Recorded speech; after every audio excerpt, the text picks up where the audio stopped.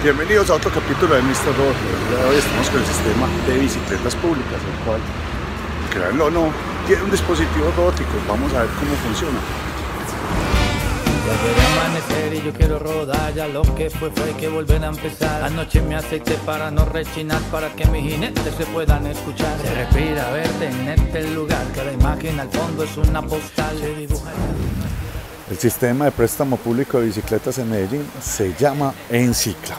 Por medio de una tarjeta y un número personal se puede activar el préstamo de la bicicleta por 60 minutos. En caso de necesitarse más tiempo, el usuario solo debe acercarse a una de las estaciones y renovar el préstamo por otra hora. Las estaciones automáticas tienen un sistema de anclaje el cual detecta que el usuario ha devuelto la bicicleta para que de esa forma la pueda usar otro usuario. Las sanciones por incumplimiento en las normas del sistema pueden ir desde tres días sin poder usar ninguna de las bicicletas hasta la terminación del mismo contrato. Y las sanciones pueden ser desde algo tan simple como el incumplimiento en el tiempo de entrega hasta el hurto de las bicicletas. Las estaciones manuales funcionan un poco diferente.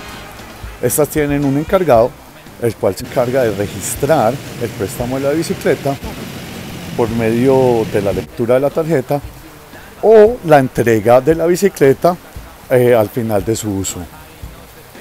Es muy importante que tanto en las estaciones automáticas como en las estaciones manuales los usuarios se aseguren de que la entrega de la bicicleta fue registrada ya sea porque se fijó en el anclaje o porque se fija de que el encargado registre la entrega.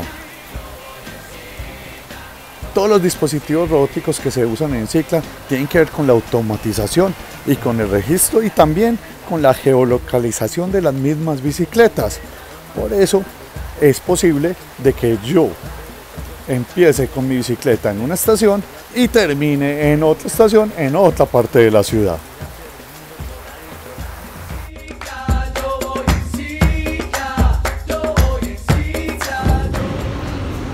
Bueno, he llegado a mi destino, eh, en el Parque Escolar de Medellín. Como pueden observar, en una estación de cicla, donde todo el mundo está entregando sus bicicletas. Así funcionan las estaciones de bicicletas públicas de Medellín y los sistemas robóticos que tienen.